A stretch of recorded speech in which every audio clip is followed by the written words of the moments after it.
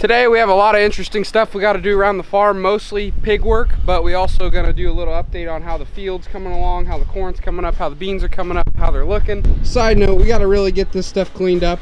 This stuff right here is just dried up feed that's getting dried up onto the bin pad, and it doesn't look good and it doesn't really smell very good. So uh, sometime this week I'm going to get around to doing it, but probably not today. It could get a little loud in here with just the pigs and the feed system and all that, but I'm gonna talk really loud for you guys. Uh, this is our Site 1 barn. This is the only site that has pigs in it right now. We just finished getting the rest of the pigs out of there, so it's sitting empty for now. We should be getting pigs in there in about a week or so, uh, so it's just kind of a waiting game for now. This room that I'm in now is the biggest group of pigs we have in this site.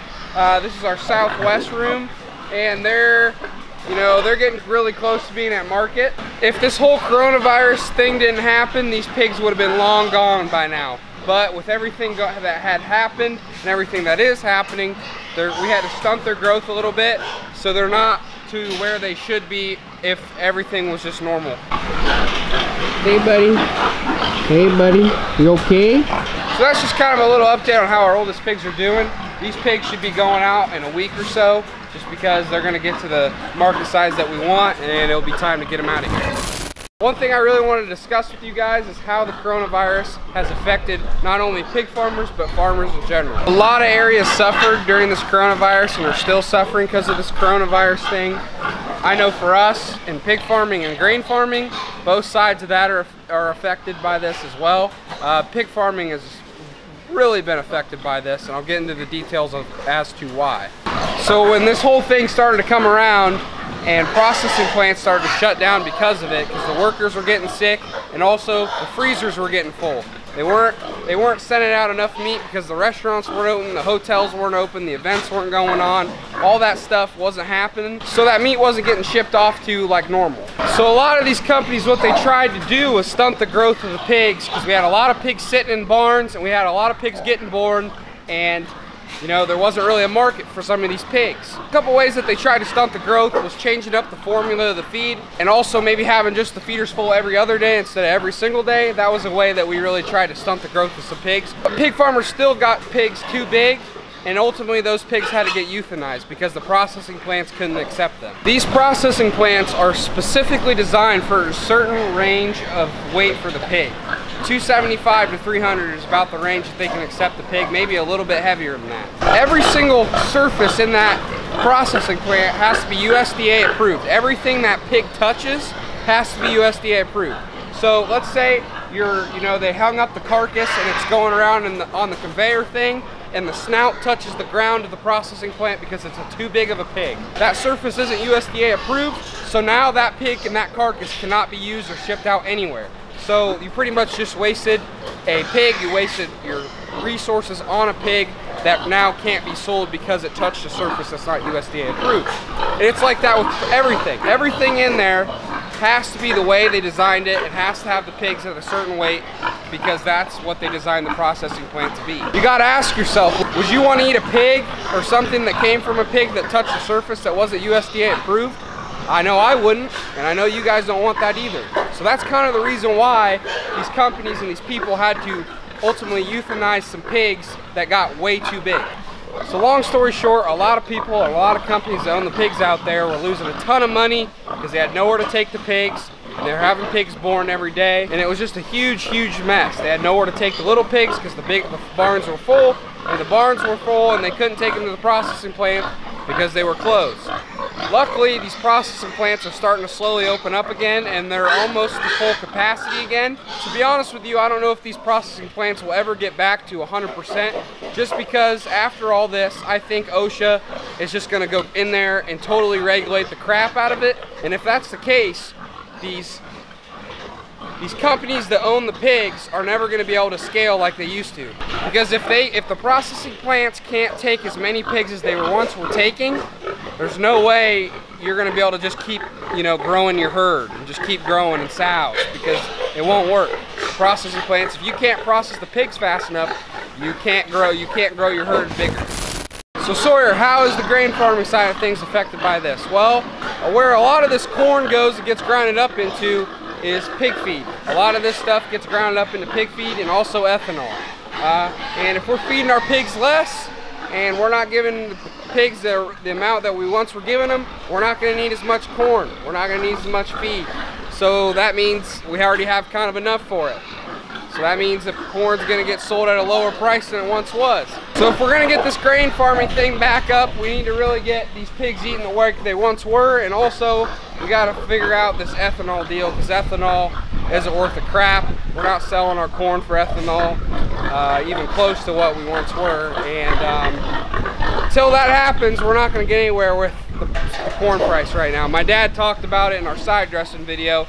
He thinks that by the time it goes, by the time harvest comes around, it'll be about two dollars and fifty cents a bushel, which is really, really bad. That, that's like not good at all. So um, we'll just see. I mean, you can only do so much as one man, but that's kind of how coronavirus has affected uh, grain farming. As far as beef and dairy, I'm not really sure how they've been affected that much just because I'm not in that industry, but I'm sure they've been affected just as much as the pig farmers out there and the grain farmers out there. So everybody is taking a hit on this, but I just know what I know and I know what we do on a daily basis and how we're affected by it. So I'm just sharing my experience and my thoughts on it. I hope you guys thought that was valuable and I hope you guys gained a little insight on what us farmers are dealing with as far as the coronavirus and how we're being affected by it. Now that all that's out of the way, let's actually get into doing some stuff around here. The first thing that we gotta do is we gotta get all five of these fans moving on this west side of this north building.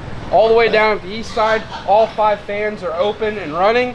The reason they're not running is we don't have the shutters in here. This is the only fan that has a shutter in the other shutters, shutters are at the barn, and I have to grab them, take these out, and put those in. Move! Get out the way! Get out the way! It's very rare you see a pig with blue eyes. I love always coming across one that has blue eyes because it's not common. Look at them damn eyes. Ocean blues, baby. This one's gonna be called Ocean. Ocean. Your name is Ocean from now on, buddy. So what we're gonna do is we're gonna head to the barn. We're gonna try to find those shutters. I don't know exactly which barn it is. It could be in that barn or it could be in the main barn that we have, but I don't know. We're just gonna have to look. Did I also mention it is a beautiful day out. It's about 86 degrees, not a very much wind at all, which I would do a little bit of wind just because it's really hot. We're gonna check and see if they're in here first. Oh, there it is. There they are. Those are the shutters that we need. First place to look. That's that rarely happens that there's the first place you look, that's where it's at. So what I'm gonna do is I'm gonna load these babies up into the back of my truck, take them over to the west side of our north barn,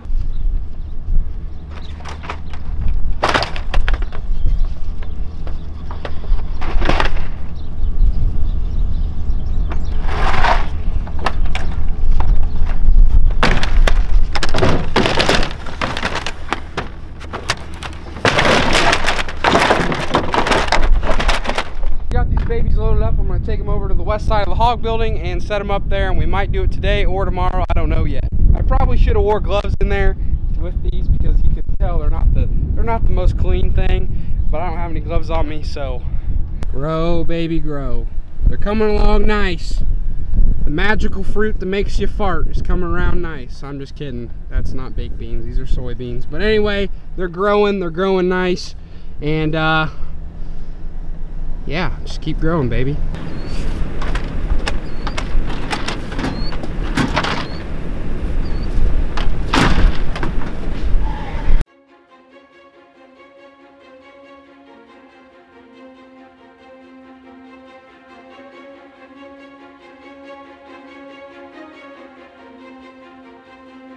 You're probably wondering, hey Sawyer, why don't you just have the shutters in all the time and not just, you know, part time of the year? Well, when it's in the winter time, you really want to eliminate the, as much, you know, cold air moving through these fans as possible. So that's why we put those in instead of the shutters.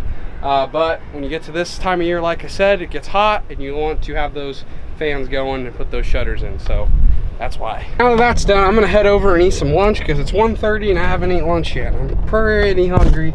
I get hung I get pretty hangry if I don't eat. If you don't know this about me, I do not get in a good mood when I am hungry. So I have to eat if I'm gonna be in a good mood and have a good time farming. So that's what I'm gonna go do and then we're gonna do some other things afterwards. Next on the agenda is we're gonna go ahead and we're gonna start washing the rest of the mats that I haven't washed yet in this Site 2 barn of ours. I got everything washed as far as the building goes. All I have to do is I have one set of mats in the south room that I have to wash. Then everything will be washed, sanitized, and ready to go uh, for when the pigs get here.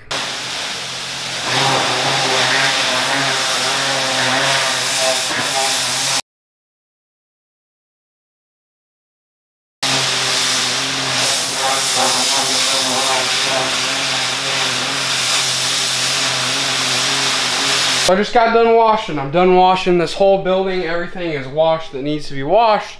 So thank the Lord because I, when you do that for a while and you do it, you do a whole barn, you're pretty much burned out on power washing until you have to power wash the next barn. So I'll be good on power washing for a while. Probably gonna call it a day and then tomorrow we're gonna do some more work. I gotta do some mowing. I gotta do some more, I gotta put this barn back together put all the feeders where they need to be, all the nipple bars where they need to be, all the mats where they need to be. Just make sure everything's ready so when we get pigs here, everything's good to go. We're back with another day of farming today. Early this morning, we're gonna get those shutters into the fans. That way that these fans can blow some air in here. It can be nice and cool throughout the summer.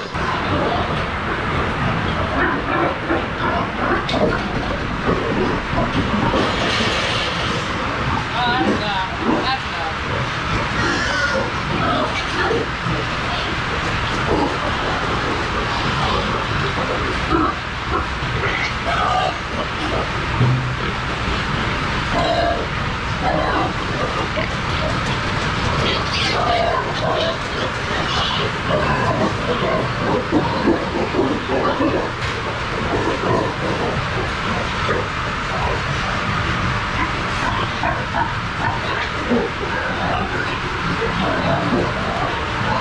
take those out.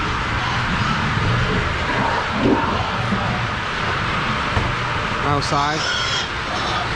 Outside. Huh? Outside.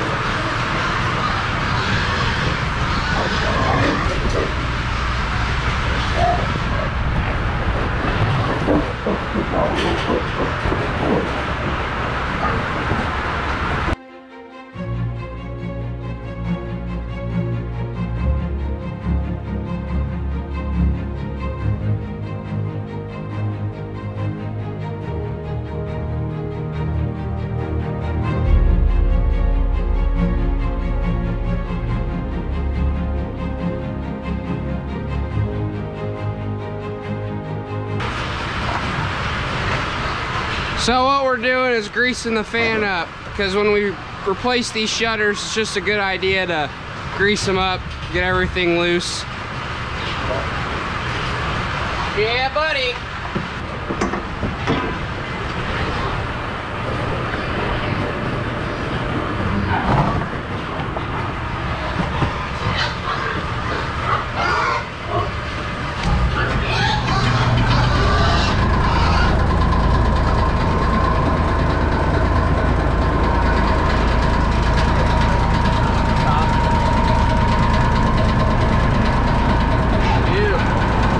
Now that that's done, it's time to do some daily chores, check up on the pigs, make sure everything's going good. First thing I look for is hopefully I can get in the pen. Big old buddy will get out of the way.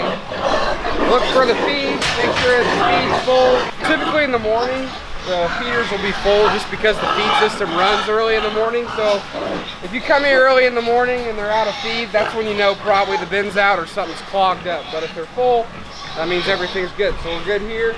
Water, there's water in the cup. That means that's good. They're drinking out of it fine. He's a happy pig.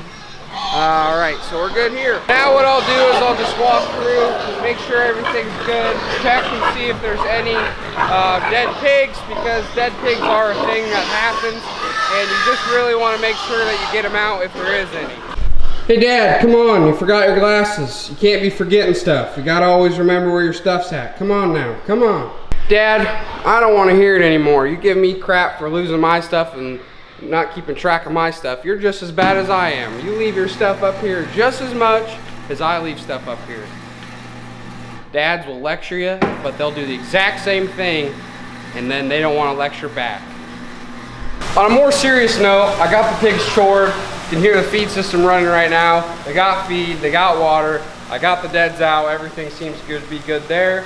So now what I'm gonna go ahead and do is head over to our Site 2 barn and I'm gonna get that baby all ready to go by putting the feeders back, putting the mats where they need to be, and having the nipple bars turned on and put where they're supposed to be.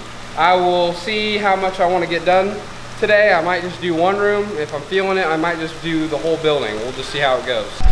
What a beautiful day out here. Just sunny, sun shining. Great day, not wet at all. Love, gotta love the sunshine out here. Gotta love it.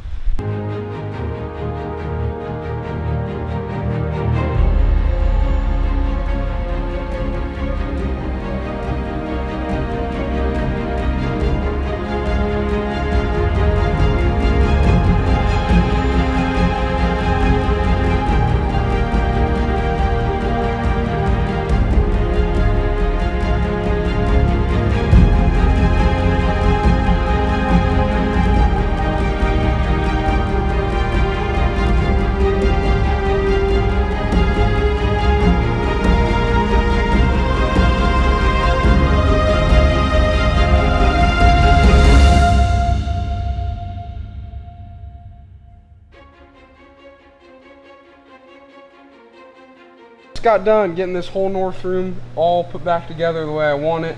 Uh, mats where they need to be, feeders where they need to be, gates where they need to be. Everything's good to go in here. We're gonna be getting pigs, I think next Monday. So we're on the schedule to go next Monday, get some weaner pigs. Didn't take very long, it usually doesn't. I'm just glad that we're gonna get this thing filled. That's pretty much it guys. If you like the video, please give it a big thumbs up. Really helps me out and pushes my content further for more farmers and people like you to see it. Feel free to subscribe if you like who I am and you want to know more about what this farm's about. Hit that bell icon so you get notified every time I post a video. I hope you guys have a great rest of your day and I'll see you in the next one. Peace.